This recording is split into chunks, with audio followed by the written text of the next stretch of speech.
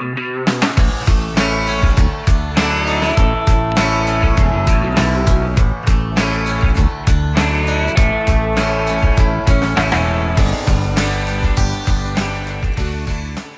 everybody, welcome to the channel Rockin' the Country. I'm Don, and today I'm doing a subscriber request. Actually, two subscribers requested this song.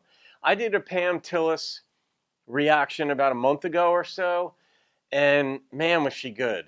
And and I was not familiar with her music at all. Loved it. And you know, Mel Tillis' daughter, you the whole family history there. She's a beautiful woman too. And then you guys commented how she was an actress also and which is completely understandable given like her beauty and her her talent and uh, and that. But so I asked you guys for other songs that you might like, and you gave me a bunch of you know ideas for songs, recommendations. But "Spilled Perfume" um, was the one that um, two folks had both mentioned, and um, Stephen Rogers and Mary Moody. You guys had mentioned this song, so Let's just see what Pam Tillis brings to the table on this song. And I hope my shirt looks light blue and not pink in the final video edit because the lights and the green screening and all this stuff, the video editing, you know, software that I use um, can change colors a little bit. So some of you guys have commented that one of my shirts, which is actually gray, it looks pinkish and but I don't wear pink for the record. I've hated pink. Not, I mean, on women it looks great. On guys, not me. Thank you very much. So I hope I'm not looking pink in my light blue shirt. Here we go. Spilled perfume.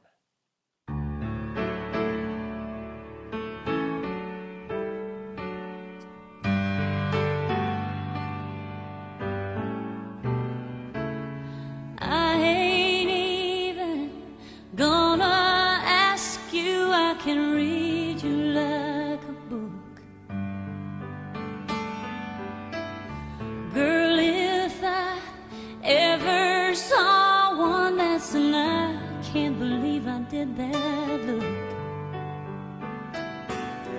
You look like something that the cat drug in, so I won't kick you while you're down. Just let me tell you, friend, friend, Valley Block,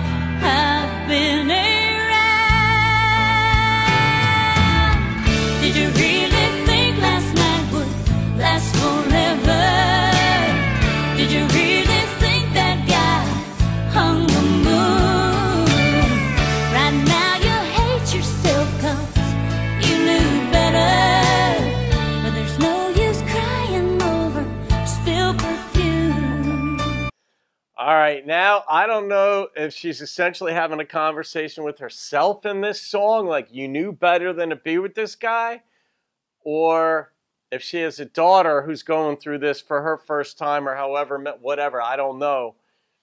Uh, we're gonna find. I imagine it resolves itself, but that's where my head's at. We got to figure out who did what.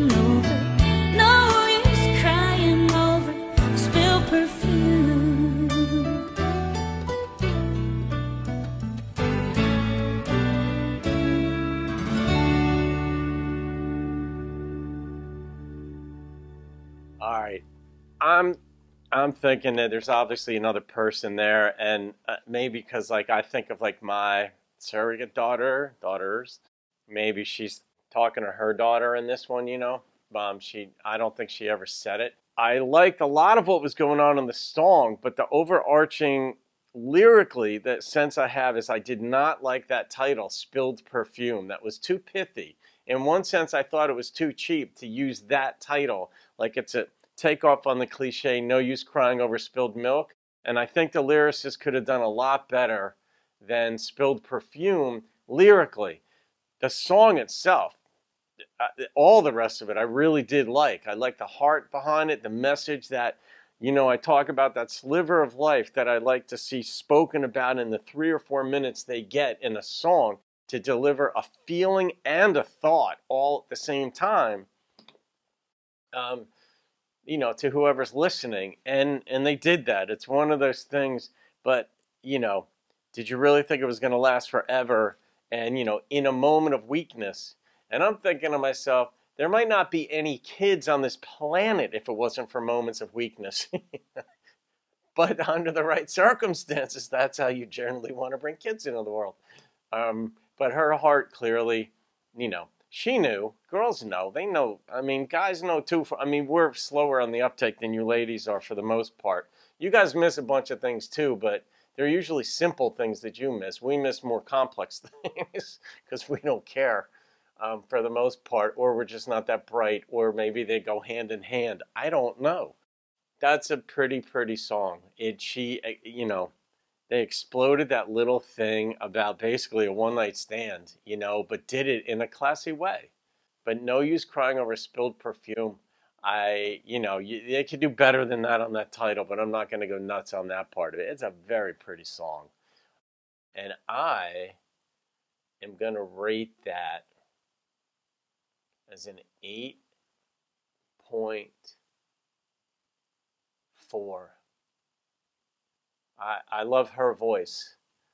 I love her inflections.